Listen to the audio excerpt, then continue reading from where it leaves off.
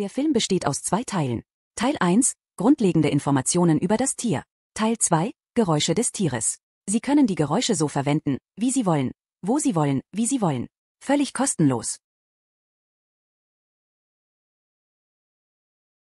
Der Wolf, bekannt als das größte Mitglied der Hundefamilie, zeichnet sich durch seine eindrucksvolle Erscheinung aus. Mit einer verlängerten Kopfform, einer schmalen Brust und langen Gliedmaßen fällt er vor allem durch sein Fell auf, welches je nach Region graue, schwarze oder sogar weiße Tönungen aufweisen kann.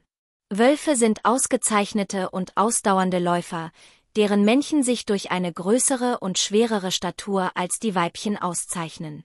Ihre Fähigkeit, in verschiedenen Umgebungen von dichten Wäldern bis hin zu Tundren und Bergen zu überleben, unterstreicht ihre Anpassungsfähigkeit und Vielseitigkeit. Mit einer Körperlänge von 100 bis 130 Zentimeter und einem Gewicht, das zwischen 30 und 75 Kilogramm variieren kann, präsentieren sich Wölfe als stattliche Tiere. Die Höhe im Schulterbereich kann bis zu 85 Zentimeter erreichen, wobei der Schwanz zusätzliche 50 cm zur Gesamtlänge beiträgt. Ihr Fell, das neben der typischen grauen Farbe auch schwarze und weiße Nuancen aufweisen kann, bietet ihnen nicht nur Schutz gegen die Elemente, sondern auch eine effektive Tarnung.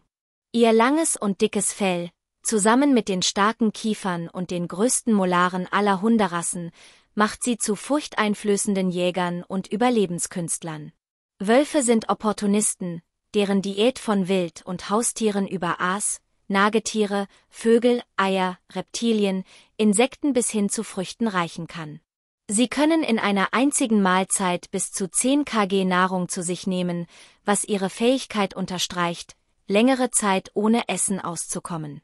Obwohl sie an der Spitze ihrer Nahrungskette stehen und nur wenige natürliche Feinde haben, können junge oder verletzte Wölfe Beute für andere Raubtiere wie Bären oder große Katzen werden.